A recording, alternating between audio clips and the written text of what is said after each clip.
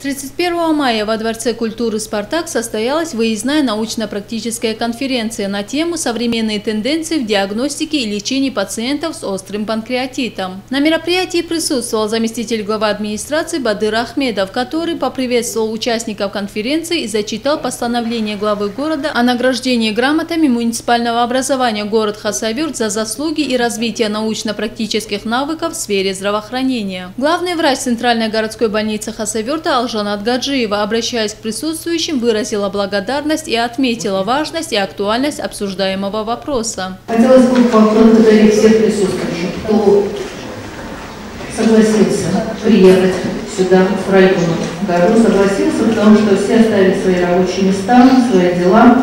Все-таки тяга к знаниям – это самое главное медицине. Если врач перестает учиться, то ему незачем врачеваться. Вам спасибо и спасибо представителям и медицинской академии, представителям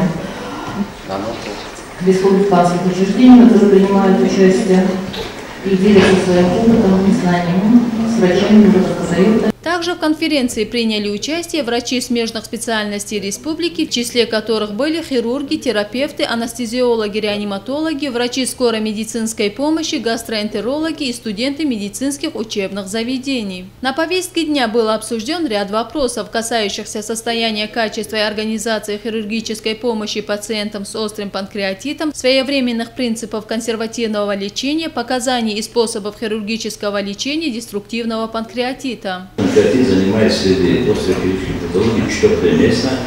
И видите рост числа больных с панкреатитом. В 2014 году было 774 по всей республике, а за последние два года 964 и 16 973 пациента. Удельный вес пациентов после панкреатита. Вот острые хирургические патологии около 12, 11-12% больных, из них панкреатит 14 года составил 6,5%, а последние два года 8,3-8,3%. То есть это рост числа пациентов после панкреатита.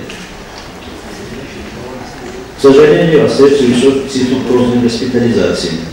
В 2014 году показатель составил 28%, уже в 2016 34%. Когда по нашему округу показатель поздней госпитализации после панкреатита на уровне 25-26%. Выступая перед собравшимися заведующий кафедрой хирургии Дагестанского государственного медицинского университета Магомед Иманалиев обратил внимание на то, что мероприятие посвящено достаточно острой проблеме.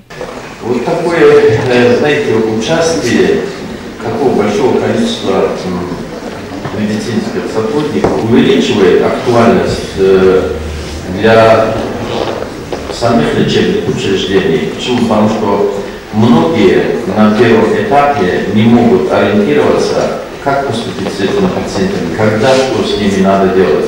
Я думаю, очень будет полезно э, для сотрудников, я имею в виду сотрудников районных больниц, не обязательно, чтобы они были хирургами.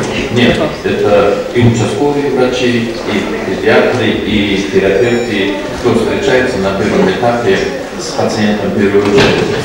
И уверен, что вы получите очень многое того, что многие, может, и не знали, как поступиться что делать с этими пациентами. В завершении беседы участники конференции отметили, что последние годы есть большие успехи. Такая же положительная динамика может продолжиться, если каждый лечащий врач будет соблюдать все необходимые правила и процедуры. Зарема Хайбулаева, Самат Гакаев, информационная программа «Пульс».